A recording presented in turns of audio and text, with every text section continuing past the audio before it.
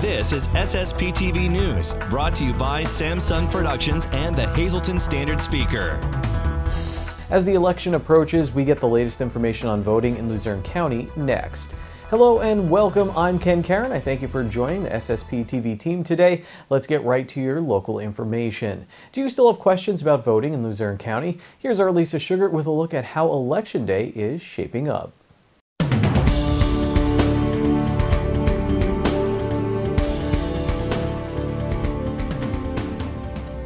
The United States Supreme Court issued a ruling this week which impacts the Pennsylvania November 3rd general election. I'm pleased to be joined today by Luzerne County Manager David Pedri to tell us what this means. Mr. Pedri, tell us all about this now. What does it mean for Pennsylvania? Because you're not going to actually get all the votes in until November 6th.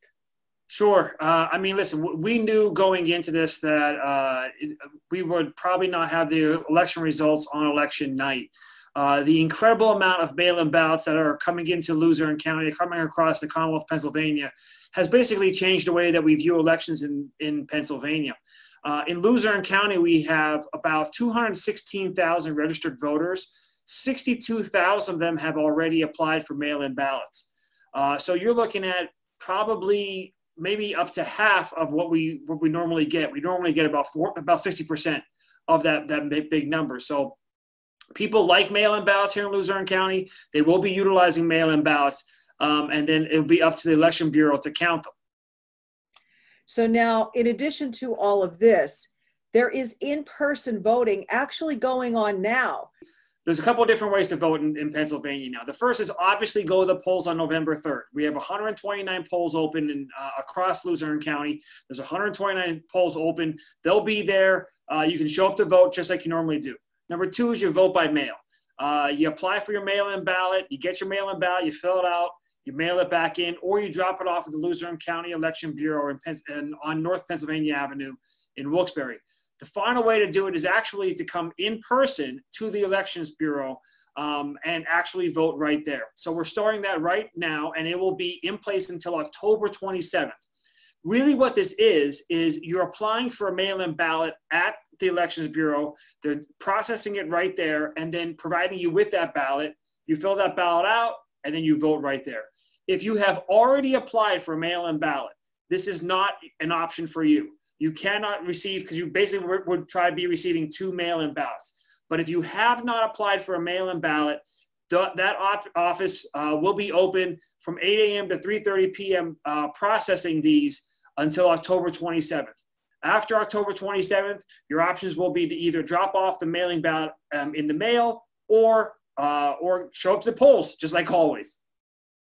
What's been the response thus far?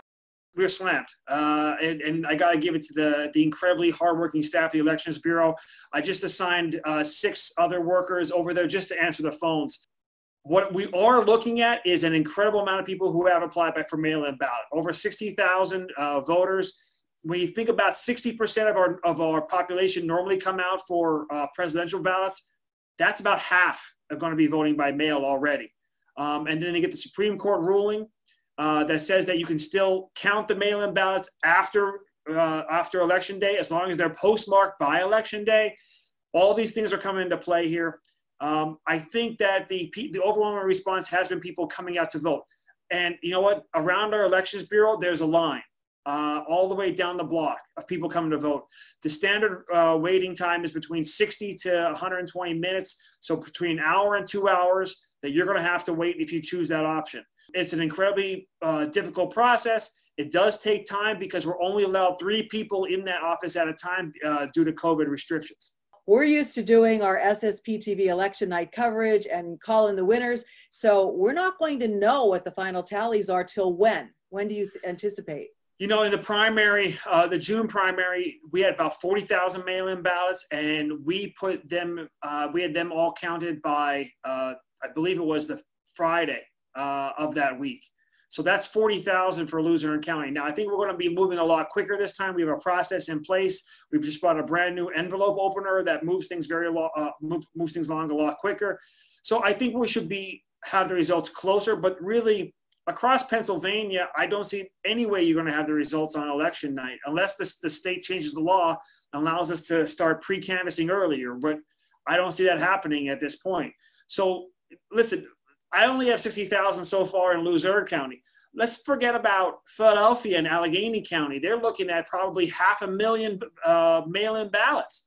So they're going to be counting them for days and days, and they have a lot of people working these things in warehouses.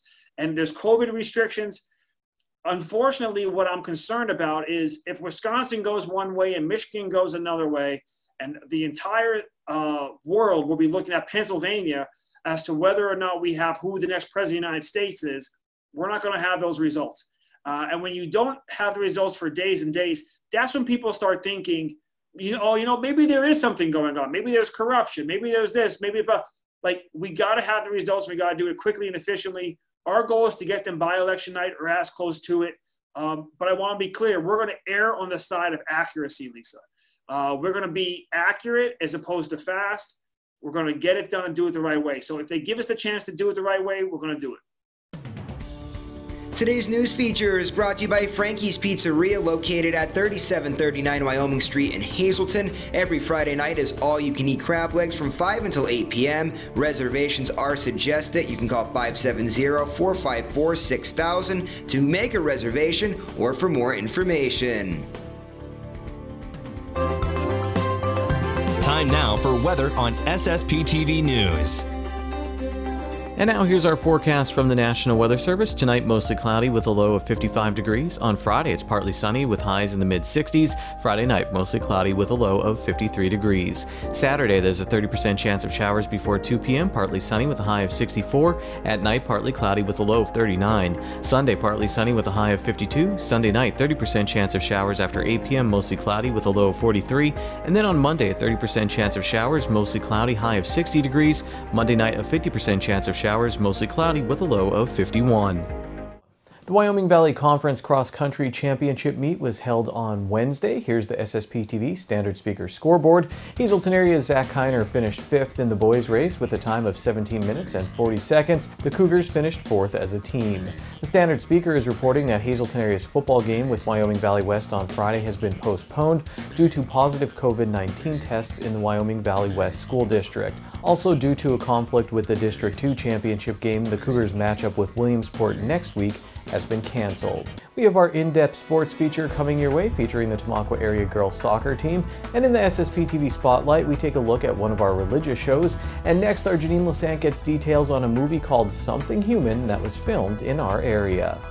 Good evening, everyone. Here's today's Talk of the Town. The Greater Hazleton Chamber of Commerce is currently seeking applications for the 2020 Business and Community Awards. Applications must be submitted by October 30th. For more information, you can visit hazletonchamber.org or you can call 570-455-1509. The Pennsylvania State Police Troop N will be having a free trunk or treat community event on Saturday, October 24th from 10 a.m. until 1 p.m. For more information, you can call 570 459 3890. The social news is brought to you by Harmon Funeral Homes and Crematory. For information, call 570 788 0977 or go to harmonfuneral.com.